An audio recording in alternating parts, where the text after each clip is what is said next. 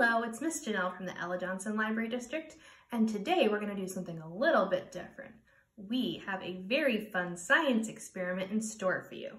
Before we get started, it's very important that you make sure you have a helper with you or an adult, and always make sure you have protective gear, goggles, gloves, or whatever is comfortable for you. Are you ready to get started? We are going to be making a rubber egg today. First, we're going to talk a little bit about eggs. This is just a regular old egg from my fridge. An egg is comprised of several parts. Now when we make a rubber egg, we're going to make some of the parts disappear. Before we get to that, I'm going to explain a little bit about the structure. Inside, we're very familiar with the egg yolk, the parts that we eat. Well, that clear stuff around the egg yolk that looks a little bit like snot is called the albumin. That kind of protects the yolk. Around the albumin is a thin membrane that we barely ever see right before we get to the outside of the egg, which is the shell. Another part of the egg that we don't often see is an air cell. That's the part of the egg that you can kind of hear a little bit when you shake an egg. It's a little pocket that's barely visible. So these are all the parts of our egg. Now for our rubber egg experiment, we're going to be magically making the shell disappear. What you'll need is, of course, an egg, a container with a lid, very important to make sure it has a lid, and vinegar. It could be any vinegar you have on hand. I happen to have white vinegar, but anything will do. All right, so you need to make sure that you put your egg inside of your container and then you're going to fill the container up with vinegar all the way over top of the egg. Now, I'm gonna let this sit here while I talk and you can kind of see what's happening already is bubbles are forming around the outside of the egg.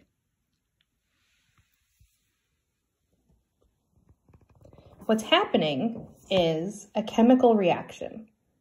The vinegar is an acid and the shell is a base. So slowly the vinegar will dissolve the shell the longer it sits inside. Kind of like a reaction between baking soda and vinegar because the shell is made of calcium carbonate. Now as the shell disappears, the egg will slowly start to expand. This happens through a process called osmosis.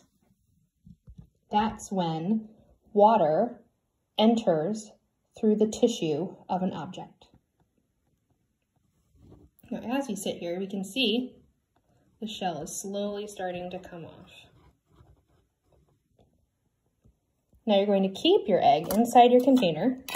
Make sure to put a lid on it and it's going to sit for approximately 24 to 48 hours, maybe even longer if you have really fresh eggs. Once you're done letting it sit in the vinegar, you're going to empty out the vinegar and rinse your egg off. And what you will get is a rubber egg. You can see the shell is completely gone off the egg.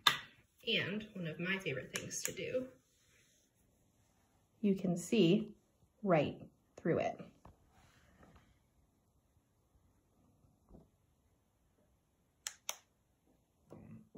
So another fun experiment you can do with your rubber egg is another experiment with osmosis.